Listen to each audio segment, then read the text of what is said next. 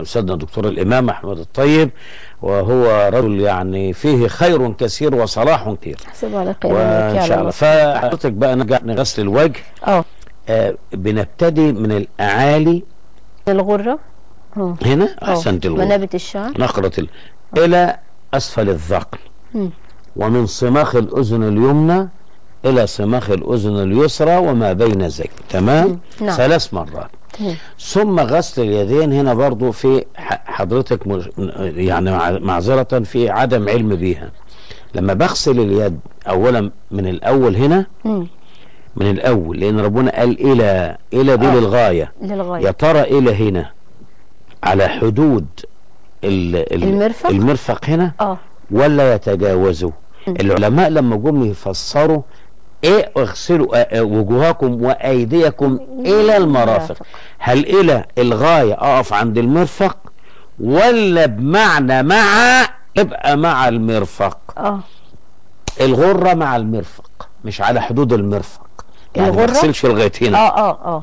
ما هو آه، اللي هو الغرة اللي هو الرسول صلى الله عليه وسلم شبه نعم. إن أمتي تبعث يوم القيامة غرة غر محجلين. من. آثار الوضوء. نعم. تمام؟ الله الغر يجعلنا هنا إيه. قالوا حضرتك ان انت تزودي بسيط على المرفق. مم. ولما تقلي الرجل آه. يبقى فوق الكعب كمان.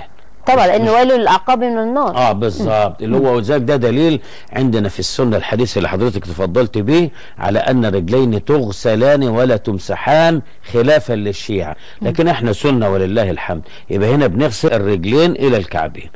برضه هنا مع الكعبين. يبقى هنا الغرة بقى إن أنا أغسل المر... مع المرفق واطلع شوية. مش إلى المرفق آه. مع المرفق في ناس بتبقى قبل المرفق كمان. يا فضيلة الدكتور لا لا لا لا. يقول لك لا هي دي الحتة وخلاص لا فاحنا لا لازم قلت لك آه بقى يرجعوا بقى إيه إحنا زي بدل- الكوع كده يا فضيله آه الدكتور درسنا يعني. لا آه. أصل الكوع يبقى هنا هنا ده المرفق آه ده الم- يعني ده إحنا ده آه ده الكوع. المشهور ده الكوع أيوه. لا ده الاستخدام الشعبي.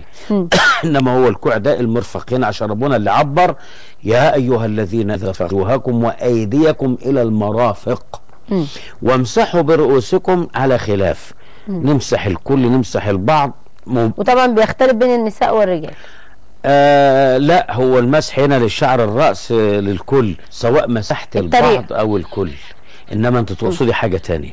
آه بعد كده حضرتك غسل آه عفوا مسح الأذنين ظاهرهما وباطنهما مم. ثم غسل الرجلين إلى أو مع الكعبين يبقى صار الإنسان متطهرا بالوضوء فيفعل جميع العبادات التي يشترط لها الوضوء من. صلاة وطواف ومس للمصحف وقراءة للقرآن وأذكار شرعية وأدعية إلى آخره إلى آخره ودخول بس برضه. أنا أنا أنا مش هفوت جزئية مسح مسح الرأس وفي تخليل الأصابع ما أنا عايزين معروفة دي هنقولهم دلوقتي. حاضر نرجع لهم بس بعد ما ناخد الأخت الأول السلام عليكم يا منى